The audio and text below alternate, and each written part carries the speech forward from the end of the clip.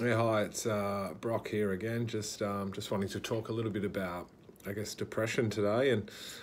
um, you know, I guess my experiences. Um, you know, on some days when I was just feeling so depressed that you know I could could not get myself out of bed, and the, the thought of doing anything productive or doing anything apart from lying in bed was just so scary, and I thought was so um, beyond me um, but it got to the point where, you know, I started to uh, look, I changed my, my expectations and I changed my focus on what it meant to be productive um, on that day. So, you know, I looked at things like, you know, getting up and, and having a shower um, as being a win or, you know, getting up and,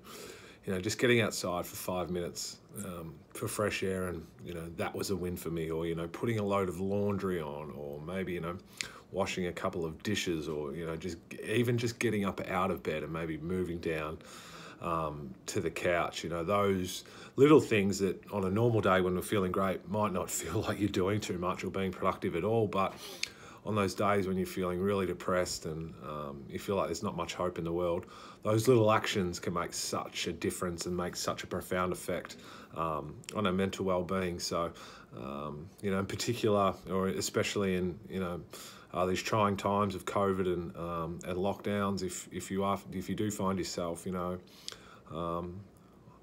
on certain days where you're feeling like that, just just try tempering your expectations and um, looking to do little things like that, and I think you'll be very surprised at how um, effective and powerful it can be um, on your state of mind. So uh, continue to look after yourself and continue to practice um, self-compassion and empathy and, and continue to love yourself, especially on those days when you're not feeling great.